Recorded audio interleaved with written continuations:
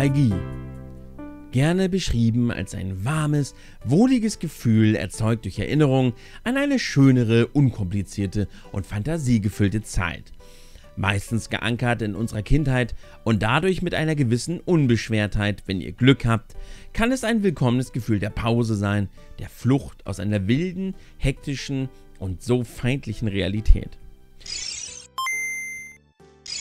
Ich persönlich liebe meine Fähigkeit, sehr nostalgisch zu werden. Ich gehe dabei teils sehr weite Wege und denke und fühle mich weit zurück in meine schöne Kindheit. Nostalgie ist der Grund, warum A Link to the Past immer mein liebstes Spiel aller Zeiten bleiben wird. Wenn ich die Musik höre oder an das Spiel denke oder einfach die Verpackung sehe, dann denke ich nicht einfach an die Dungeons oder die Items. Ich bin wieder der kleine Tim, der in seinem Zimmer oben auf dem Dachboden mit einer Kuscheldecke und einem Kakao am Wochenende die wundervollste Konsole aller Zeiten gespielt und mit seinem kindlichen Gemüt und der reinen Fantasie eines Kindes ins weite schöne Hyrule abtauchte.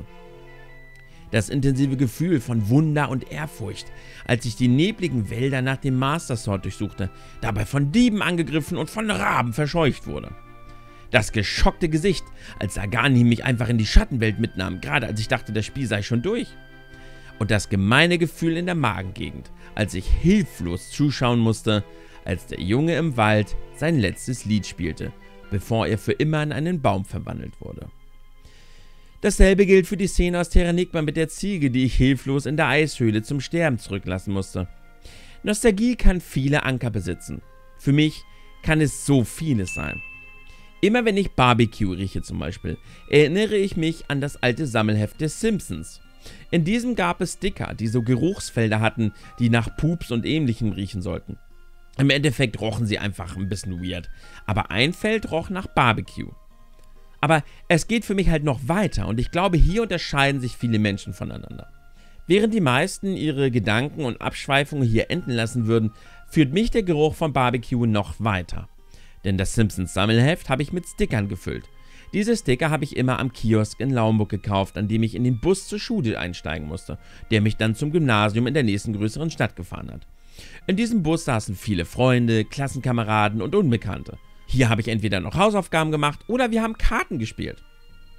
Oder ich hörte einfach Musik auf meinem MP3-Player, auf dem ich meine Musik von der Bravo Hits 1 CD oder meiner Schlumpfen CD hörte. Ich könnte jetzt noch viel tiefer gehen und deutlich weiter abschweifen, aber das ist die Macht der Nostalgie in einem Träumer, wie ich es bin. Ich kann durch Trigger, Gerüche, Gefühle und Empfindungen wieder hervorrufen und den schönen warmen Zauber genießen, wie ein kuscheliger Mantel, der mich umhüllt. In Bezug auf Videospiele bleiben einfach viele gewisse Momente und Spiele für mich auf diese besondere Art in Erinnerung. Aladdin und The Magical Quest habe ich mir von meinem Cousin ausgeliehen, mit dem ich gerne in der Matschkuhle in unserer Neubausiedlung gespielt habe. Und zack erinnere ich mich an diese wunder wunderschöne Nachbarschaft, meine Freunde damals und die geile Zeit als Kind. Der Maskenhändler im Majora's Mars hat mich damals richtig gegruselt und Unruhstadt und eigentlich das ganze Spiel hatten für mich einen unheimlichen Flair, der mich begeistert hat. Und zack, denke ich zurück an meine Zeit mit meinen besten Freunden zu N64-Zeiten. SimCity habe ich von einem guten Freund in der Nachbarschaft ausgeliehen, der mit seiner Familie in einem großen Haus mit einem Reddach gelebt hat. Er war derjenige, der mir das erste Mal Knoblauch-Brotchips gezeigt hat, nach denen ich dann instant süchtig war. Ich weiß noch, wie der sowieso strenge Vater teilweise skeptisch war, ob ich nur für die Brotchips vorbeikam, weil ich die immer so begeistert gemümmelt habe. Sonic Adventure 2 Battle habe ich mit meiner Schwester gespielt und wir haben zusammen in hunderten von Stunden Chaos gezüchtet. Ist das Chao-System jetzt besonders gut? Nein, niemals. Liebe ich es aufgrund dieser Kernerinnerung? Absolut. Mario Bros. für den NES habe ich mit einem meiner besten Freunde aus der Grundschule gespielt.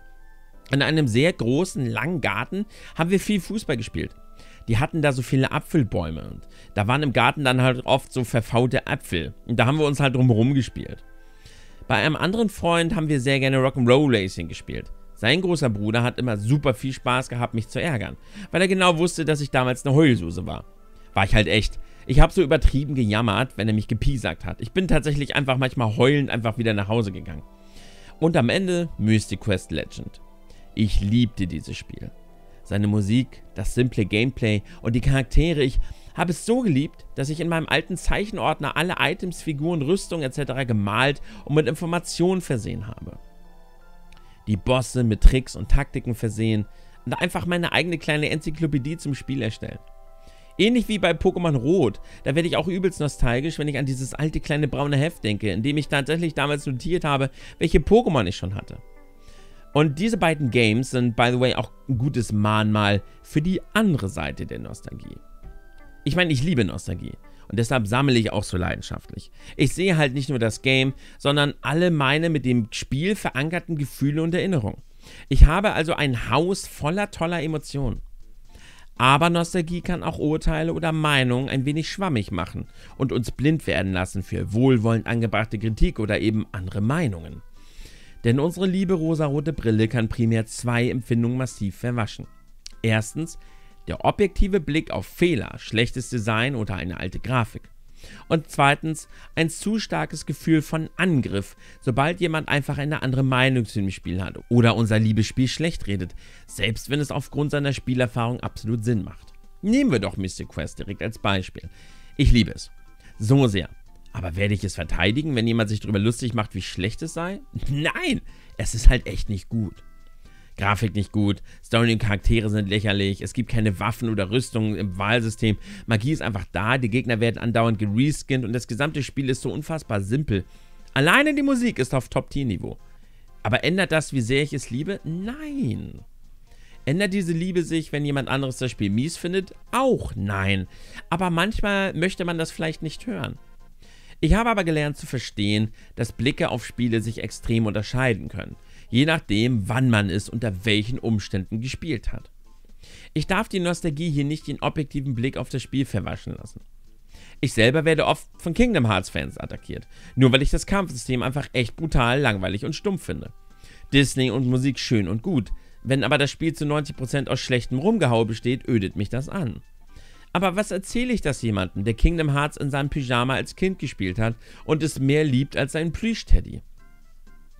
Pokémon Rot ist so schlecht heutzutage. Die Grafik geht ja noch, aber diese fehlende Quality of Life, die Menüführung, das limitierte Inventar, die VMs über das Menü auswählen, das Boxensystem, seltsame Levelkurven etc. Aber es wird für mich immer meine liebste Gen sein. Einfach nur, weil es für uns damals mehr bedeutete als ein Spiel. Dieser Hype, diese Freude und das Gefühl von Abenteuer und Freiheit, als wir das erste Mal in unserem Leben ein Spiel dieser Dimension erleben durften. Mein erstes Glumanda, schön. Nostalgie darf aber nicht verändern, dass es rein spielerisch echt schlecht gealtert ist. Euch fallen sicherlich selber Beispiele ein. Games, die euch mehr bedeuten. Dieses gewisse Mühe mehr, das Videospiele oft auf einen Thron erhebt, den man nicht wackeln sehen möchte. Und so stört es halt, wenn sich jemand über das Spiel auslässt. Aber er war vielleicht 38 und spielt gerade ein 20 Jahre altes N64-Game und ist natürlich nicht angetan von Grafik, Steuerung und Kamera. Er hat nicht denselben Blick auf das Spiel wie wir. Es ist ähnlich wie meine Erfahrung mit Pokémon Diamant und Pearl. Zu dem Zeitpunkt hatte ich die ersten drei geliebt und totgesuchtet. Sogar ein Remake von Generation 1 war hart gespielt worden. Jetzt spielte ich erneut, zum x-ten Mal dieselbe Formel, ohne große Änderung. Stadt zu Stadt, wieder mal böses Team, mit nicht so vielen neuen Pokémon. Ich fand es halt so mittelspannend. Ich habe also nicht im Ansatz dieselbe Erfahrung wie jemand, der gerade als kleiner Stinker das erste Mal in die Welt von Pokémon abtaucht. Nostalgie ist sehr mächtig und kann nicht nur unsere direkte Erfahrung beeinflussen, sondern auch unsere Erinnerung. Ich glaube, viele haben über die Zeit vergessen, wie clunky die erste 3D-Ära wirklich war. Fans von Ocarina of Time oder alten PlayStation 1 Games sind gerne mal erbost, wenn jemand, der es heute spielt, nicht so recht angetan ist. Aber die Grafik altert halt schlecht. Und viele Spiele der Zeit, fast alle ehrlich gesagt, haben eine Kamera, die gar nicht klar geht und eine ganz wilde Steuerung-Inputs. Conquest Bad Fur ist einzigartig, aber wirklich schwer zu spielen in der N64-Version. Nicht selten sind Zuschauer erstaunt, wenn ich ihnen vor Augen führe, wie alt Spiele wirklich aussahen, vor allem von N64 und Wii. Na klar, ihre Nostalgie hat es halt im Geist komplett romantisiert und am Leben gehalten und da sieht es dann fantastisch aus. Nostalgie kann etwas sehr Wundervolles sein. Ich begrüße meine Fähigkeit zur Nostalgie sehr und schwelge sehr gerne in Erinnerungen und alten Gefühlen und erzähle euch davon. Und deshalb sammle ich auch so gerne. Man muss nur aufpassen, dass Nostalgie einen nicht immun gegenüber Kritik oder anderen Meinungen werden lässt. Es bleibt aber die Frage, bist du ein Nostalgiker? Nicht jeder empfindet Nostalgie gleich. Viele kaufen lieber digital oder verkaufen ihre Games wieder, weil die physische Präsenz für sie nichts bedeutet. Einige spielen Games immer mit Metal oder anderen Musik auf den Ohren, weil ihnen generell der Soundtrack und der damit verbundene Anker nichts gibt. Und wiederum andere erinnern sich kaum an ihre früher gemachten Erinnerungen und können somit kaum Nostalgie empfinden. Und dann gibt es solche wie mich, die einen Trip durch ihre gesamte Kindheit nehmen können, weil sie einen Stein sehen, der aus einem aus ihrem Garten ähnlich sieht. Wo im Spektrum fallt ihr rein? Am Ende lasst ihr uns genießen, wenn möglich. Solange wir nicht die Vergangenheit überromantisieren und der Moderne gegenüber unfair oder zynisch werden.